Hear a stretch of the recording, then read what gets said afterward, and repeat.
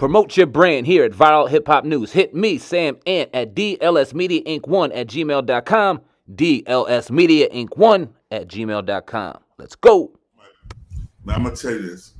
I ain't tell you. I don't know about that. Tell you about the Afrika Bambaataa situation.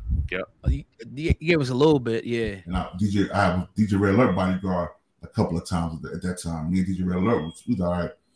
I, I stopped messing with DJ Red Alert because he took me to an Afrika Bambaataa party.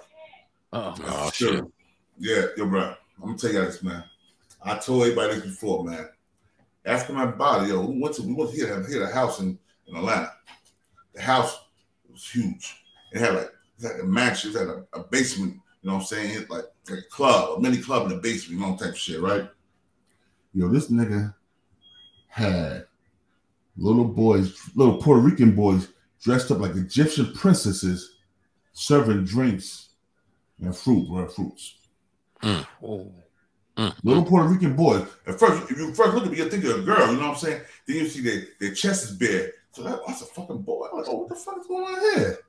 Wow. I ain't gonna, I, I ain't gonna say, I, don't, I ain't gonna say it was mine, so I don't know if it was mine. They was young dudes, though, you know what I mean? Right. And I was like, nah, that's dude weird, man. I said that from the real. I said, this dude weird. I told Red Love, like, no, never, I, I never come, I never work with you no more, man, because you, you put that close on this shit, dog. What Red Alert say?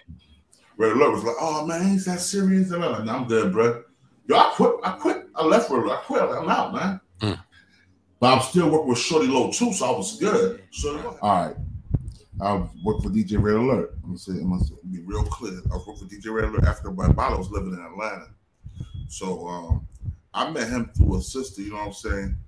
That she she had, she had promoted my birthday party in Atlanta. You know what I'm saying? I had a big birthday party in Atlanta back in um was this 06. hmm So she she did the birthday party for African Bambaataa. Everybody came to the party, right?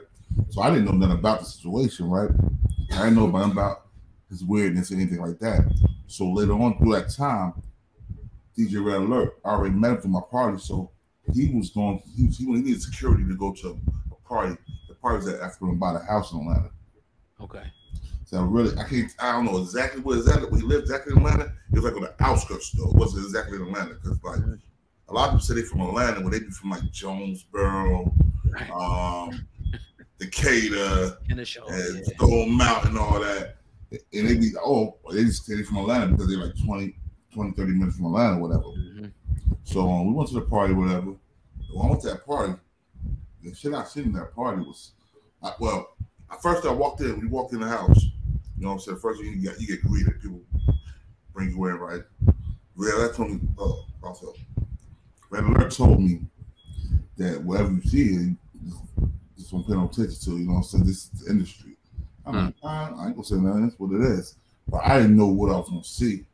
It was like, like I said, what I see, I seen Puerto Rican boys dressed up like Egyptian princesses.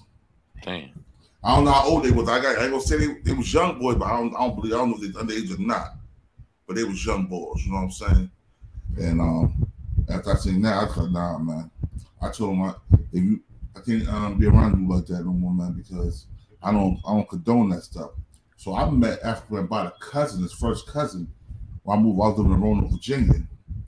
His first cousin, his first cousin is, is younger than me, but he's old. He's like in his forties too. He Mhm. told me he told me the story. I was like, yo, so you was there that day when that happened at that party in Atlanta? He was like, yo, you was there? Like, yeah, bruh. He's like, yo, that's why I fell back for my cousin.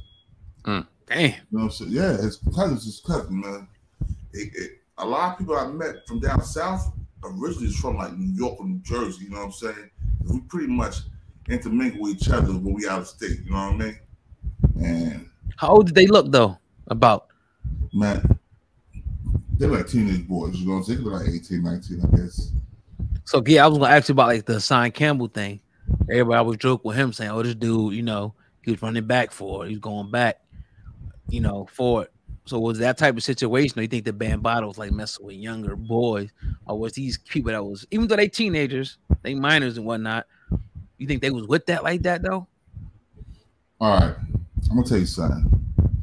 When you was 13 years old, Hmm. Damn. Yeah, go ahead. Go ahead.